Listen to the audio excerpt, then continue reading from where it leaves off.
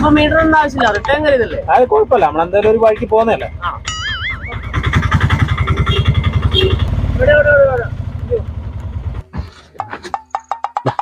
ഇതെന്താ പത്ത്? അല്ലല്ലോ പത്തല്ല. ഇത് മീറ്ററിൽ കണ്ടില്ല? മുപ്പത് റുപ്യ മുപ്പത് റുപ്യ. മുപ്പത് രൂപ. അത് പിന്നെ എന്താ അത് പിന്നെ? ഒരു അത് പിന്നെ ഇല്ല. കഴിഞ്ഞ ആഴ്ച നമ്മൾ മീറ്റർ ചാർജിലല്ലേ പോയത്. അന്നേരം ചോദിച്ചിട്ട് തന്നിട്ടില്ലല്ലോ.